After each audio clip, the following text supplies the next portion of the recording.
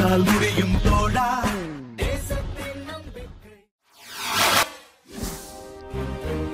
என்எம்சியில் விபத்து ஒப்பந்த தொழிலாளர் பலி நெய்வேலி அடுத்த பெரிய காப்பான்குளம் கிராமத்தைச் சேர்ந்தவர் குமரவேல் மகன் செல்வகுமார். இவருக்கு வயது இருபத்தி நான்கு இவர் என்எல்சி புதிய அனல் மின் நிலையத்தில் ஒப்பந்த தொழிலாளியாக கடந்த ஆறு மாதமாக பணிபுரிந்து வருகிறார்.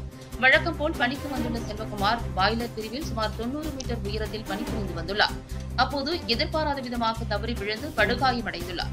அருகில் இருந்த தொழிலாளர்கள் செல்வகுமாரை மீட்டு ஆம்புலன்ஸ் மூலம் நெய்வேலி என்எல்சி பொது மருத்துவமனைக்கு கொண்டு சென்றனர். அங்கு பரிசோதித்த மருத்துவர் அவர் ஏற்கனவே இறந்துவிட்டதாக கூறியுள்ளனர்.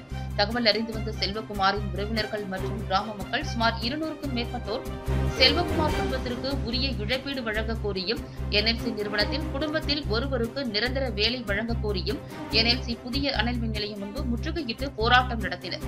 இச்சம்பவத்தால் அப்பகுதியில் பெரும் பரபரப்பு நிலவி வருகிறது.